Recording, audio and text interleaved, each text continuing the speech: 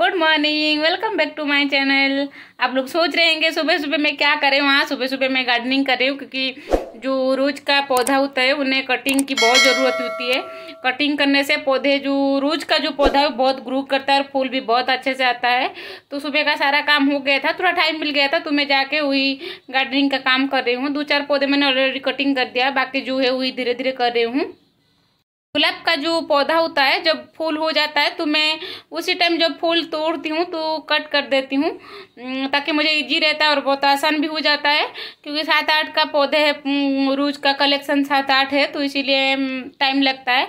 तो जितना रोज का कटिंग करेंगे, उतना ही ग्रो होगा तो आप चलिए, मैं आपको दिखा दूँ, मैं ऑलरेडी दो चार पौधे का कटिंग भी किया है।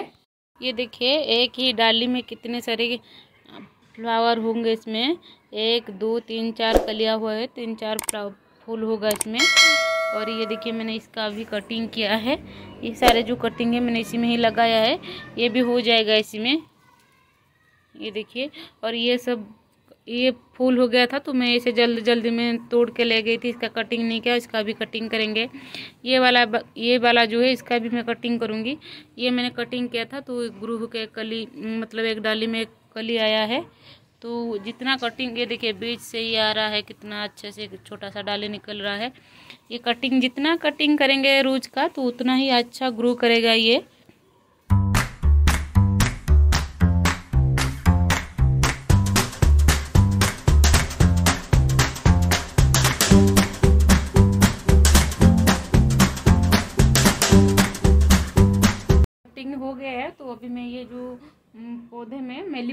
चुका है तो उसका ये दवाई मैं छिड़क दूँगी।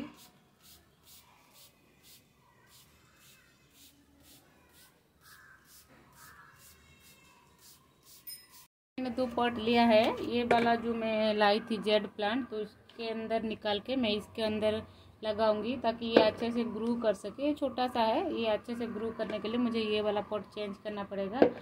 तो वो जो बड़ा वाला पॉट है, इसी में से मिट्टी निकाल के मैं इसी में ही डालूँगी। निकालूँगी कैसे?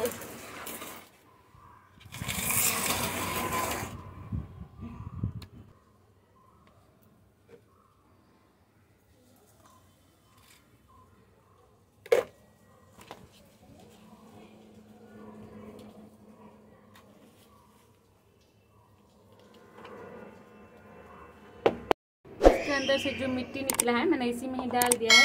और ये थोड़ा सा नीम खली, इसको मिला के मैं इसके अंदर दे के वो वाला पौधा लगाऊँगी, जो जेड प्लांट है, इसको एक मिक्स कर देंगे।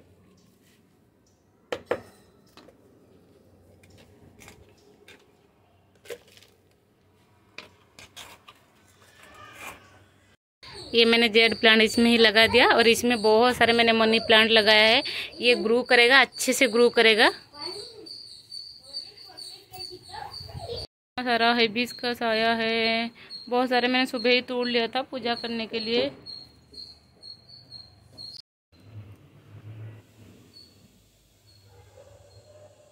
पौधे मैंने सारे लगा दिया है। सारे यानी बस एक ही लाया था जेड प्लांट और जो जो मनी प्लांट है, मेरे एक फ्रेंड ने दिया था।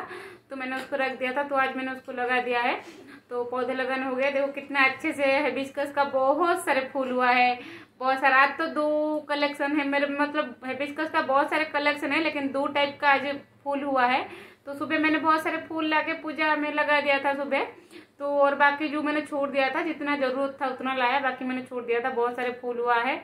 ऐसा नहीं कि ऐसे ही फूल हो जाते, उनको देख रेख करना पड़ता है। उनके लिए जो, जब उनके लिए खाद भी देना पड़ता है जैसे जो भी किचन का मेरा निकलता है वेस्ट वगैरह तो मैं ऐसे खाद बना के सारे पौधे में देती हूँ। और पंद्रह दिन में एक बार उनका कटिंग करती हूँ जैसे रूज हो गया रूज का तो कटिंग का बहुत ज़रूरत है। रूज का आप जितना कटिंग करेंगे उतना ही रूज आपका ग्रो करेगा। तो इसीलिए रूज जब भी, भी फूल हुआ एक दो जितना भी फूल है तो होने के बाद फूल तो ले आना तोड़ के फिर उसके बाद कटिंग करना वहीं से वो ग्रो करेगा। जहाँ से आप कटिंग लगाएँगे वही से, उसी जगह से वो ग्रो करेगा और उनके जो पौधे में बहुत सारे कीड़ा चीटी या जो मेलीबग होता है, वो लग जाता है तो मैं उनको दवाई स्प्रे करती हूँ। दवाई यानी एक बाल्टी में मैं हल्दी का हल्दी का पाउडर डाल के हल्दी का पानी बना लेती हूँ और उसमें थोड़ा सा नीम का ऑयल जो नर्सरी में ही मिलता है तो मैं नर्सरी से लाती हूँ नीम का ऑयल उसे दो चार ड्रॉप्स डाल के, मिला के। ज़्यादा क्वांटिटी में मैं हल्दी का पानी लेती हूँ और बाकी दो चार ड्रॉप्स डाल के, जो नीम का ऑयल है तो मिला के स्प्रे करने से पौधे में, वो मेलीपग जो है नहीं लगेगा चिट्टी नहीं लगेगी एक कीड़ा बकड़ा सारे पौधे मैंने लगा दिए है। ज़्यादा तो पौधे नहीं, बस एक ही मैंने जेड प्लांट लाया था, उसको मैंने लगाया। और बहुत सारे मनी प्लांट जो मेरे एक फ्रेंड ने दिए थे मुझे तो वही सारे मनी प्लांट भी मैंने लगा दिया है। तो उसको मैंने थोड़ा धूप में डाला है, जब वो धूप लग जाएगा तो फिर हम घर में ले आएँगे। जेड प्लांट जो है, उससे ज़्यादा धूप या ज़्यादा पानी देने से वो खराब हो जाएगा। तो इसीलिए थोड़ा ज़्यादा गीला है मिट्टी, इसीलिए मैंने धूप में डाला, लेकिन धूप नहीं है, बारिश शुरू हो गया है। तो अब चलते हैं किचन में, पौधे का देख रेख हो गया। तो अभी चलते हैं किचन में। लंच बनाएँगे, लंच बनाने का टाइम हो गया है। तो लंच में आज बनेगा दाल चावल। दाल तो मेरा कंपलसरी है, दाल चावल और सब्ज़ी बनेगा, पालक का सब्ज़ी। पालक और अरबी तो उसका मैं सब्ज़ी बनाऊँगी। पालक और अरबी जो है वो गाँव में बहुत ज़्यादा बटर बहुत डिलीशियस रेसिपी होती है। पालक और अरबी और उसमें आलू और बैगन दे के बहुत यम्मी लगता है। उसे आप रोटी चपाती जिसके साथ आप खा सकते हैं, लेकिन हम ज़्यादातर चावल के साथ खाने पसंद करते हैं। तो सब्ज़ी बनाने के लिए मुझे किचन में जाना पड़ेगा। आप लोग भी मेरे साथ किचन में चलिए। यहाँ पर मैं पालक का सब्ज़ी बनाऊँगी।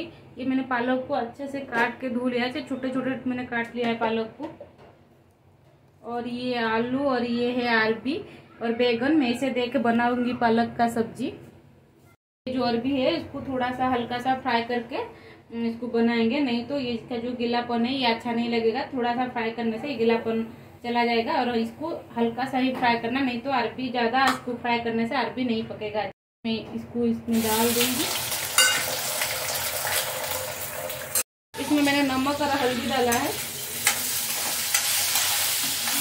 था तो मैं इसमें पानी दे दिया है और पानी का एक उबाल आने के बाद बैगन जो है इसके ऊपर डालेंगे। इसमें मैंने लिया है सरसों, हरा मिर्च और कुछ लहसुन की कलिया। तो अब इसका एक पेस्ट बना लेंगे। का एक उबाल आ गया तो इसमें हम डाल देंगे ये जितने सारे बैगन मैंने काट के रखे हैं। ये मैंने पेस्ट बना दिया है। ये जो पेस्ट है, अब इसमें डाल देंगे सब्ज़ी में।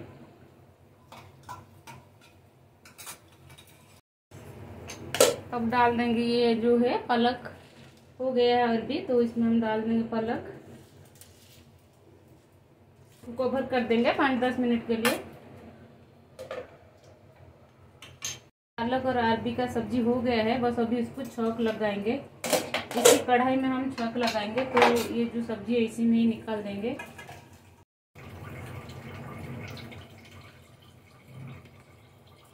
कढ़ाई गरम हो गया है, इसमें डालेंगे सरसों। और हाँ पालक का जो मैं सब्ज़ी बना रही हूँ, इसे सरसों के तेल में बनाने से उसका टेस्ट और अच्छा लगता है। यहाँ पर मेरा दाल भी बन के रेडी है। ऑयल गरम हो गया, इसमें हम डालेंगे जीरा। मैंने दिया है दो रेड चिल्ली और ये प्याज, मैंने एक बड़ा साइज़ का प्याज दिया है। प्याज हो गया है तो ये टमाटो डाल देंगे इसके अंदर। एक छोटा टमाटो मैंने लिया है, छोटा साइज़ का टमाटो। इसमें थोड़ा देंगे रेड चिल्ली थोड़ा सा ये हो गया है। तो अब इसमें हम डाल देंगे जो पालक। मैंने दूसरे चूल्हे में हटा दिया है तो इधर मैंने तावा चढ़ा दिया है। इधर मैं बनाऊँगी एक आमलेट। तो हस्बैंड भी आ चुके हैं खाने के लिए, इसलिए जल्दी जल्दी मेरे दोनों ही इस्तेमाल करना है, दोनों हाथ। तो चलिए मैं ही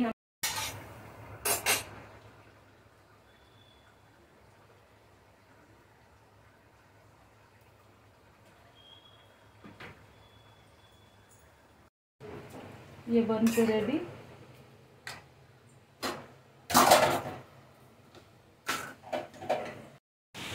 ये देखिए, आज बारिश हो रही है। ट्वेंटी वन का पहला बारिश है ये बेंगलोर में। नया साल का नया बारिश फ़र्स्ट टाइम न्यू ईयर में। पहला बारिश है ये। लॉन्च हो चुका है। लॉन्च होने के बाद हुई बर्तन और किचन पूरी तरह से क्लीन है। तो सुबह से उठ के काम पर लग जाओ मशीन के जैसा। जैसे दो हाथ नहीं, चार हाथ हो गए। काम करते करते ना, दो हाथ, चार हाथ बन जाएँगे। जल्दी जल्दी फटाफट सब कुछ करना पड़ता है। जैसे कोई इंसान नहीं मशीन बन गए हैं हम। ऐसे ही सुबह उठ के पाँच बजे से मतलब लगे रहो रात के दस बजे तक। तो ऐसे ही चलता रहता है। क्या करें, करना तो पड़ेगा। सबके घर में तो होता है ऐसा। तो चलिए वीडियो को यहीं पर एंड करते हैं। वीडियो को फुल आज करिए लाइक कमेंट शेयर सब्सक्राइब करना ना भूलिए। Thank you